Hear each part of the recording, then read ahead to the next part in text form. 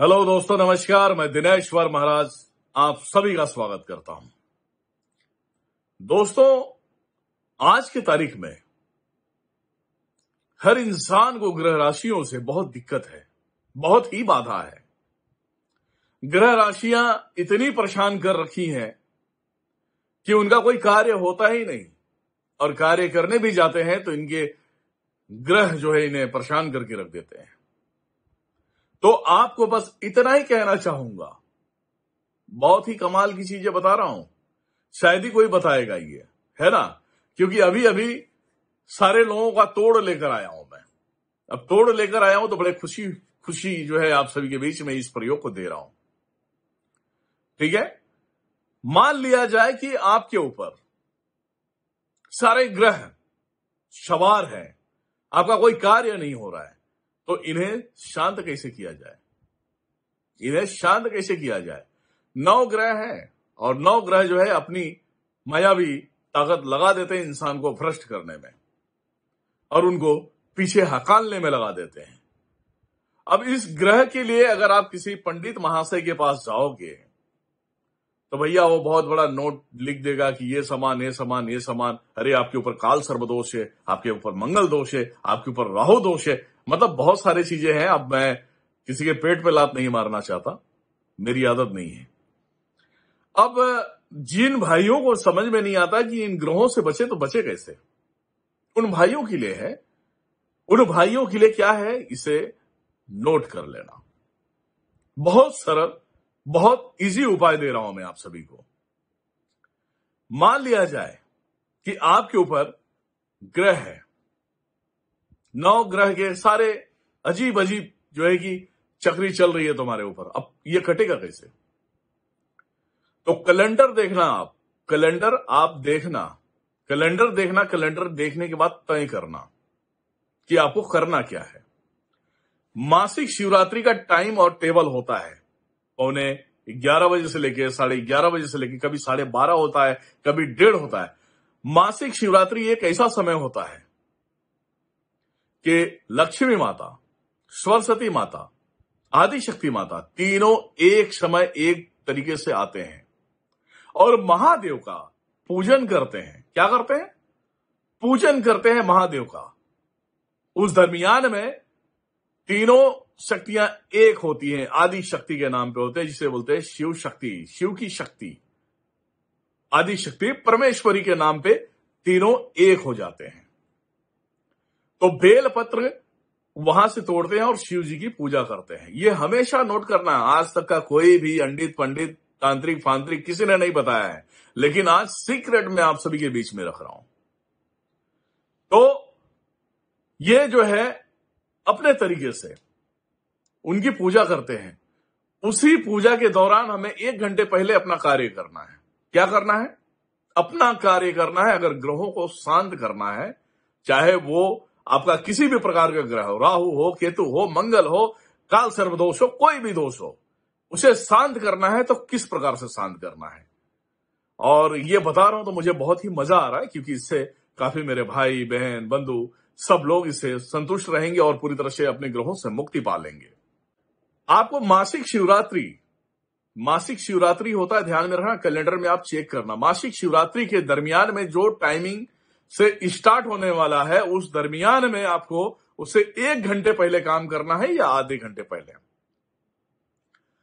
आपको कच्चा सूत लेना है। क्या लेना है? कच्चा सूत लेना है। कच्चे सूत को क्या करना है? हल्दी, कुमकुम, सिंदूर। इन तीनों चीज़ में आपको उसे मिक्स कर लेना है।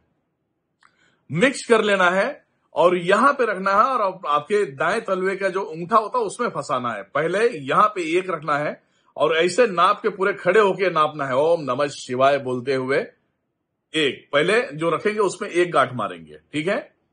अब ओम नमः शिवाय बोलते हुए एक बार नीचे जाएँगे, ऊपर आएँगे।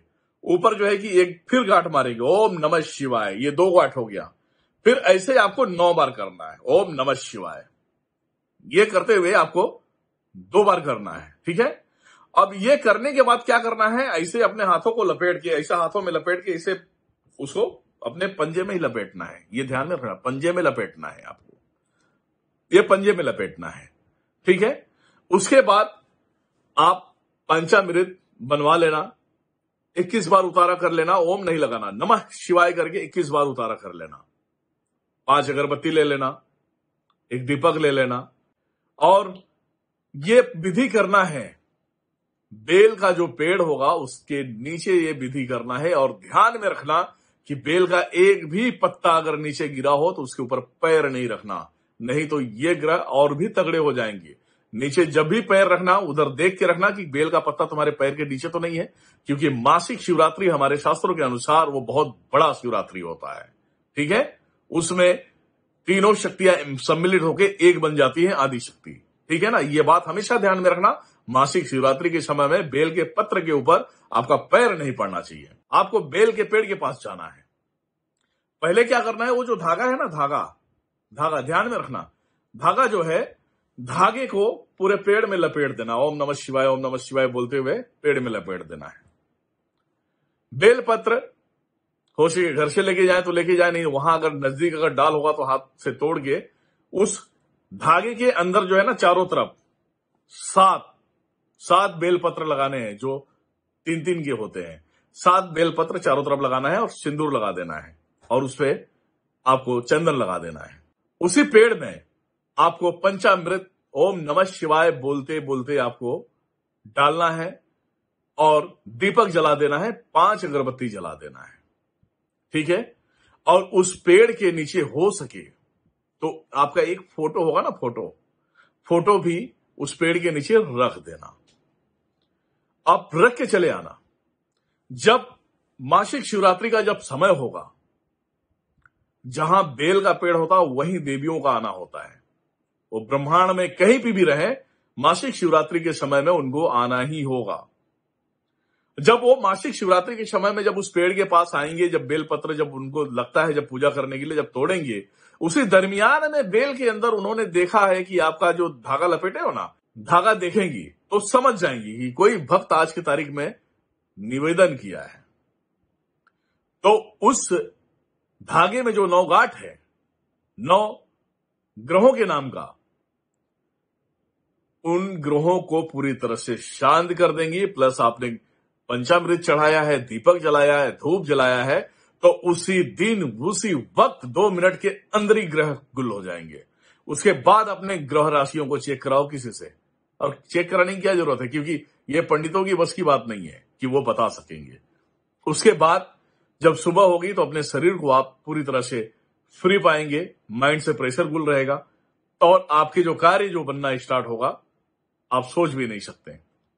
जो भी बातें मैं बताता हूँ जो भी प्रयोग बताता हूँ, वो जब तक मुझे माता भैरव भैया से नहीं मिलता, जब तक मैं इस प्रयोग को नहीं बताता, ये हमेशा ध्यान में रखना और ये आप सभी के लिए नया होगा। और कुछ ही दिनों में आप सब देखोगे, अनेक प्रकार के चैनल वाले हैं, इस प्रयोग को तोड़ मरोड़ के दे डालेंगे।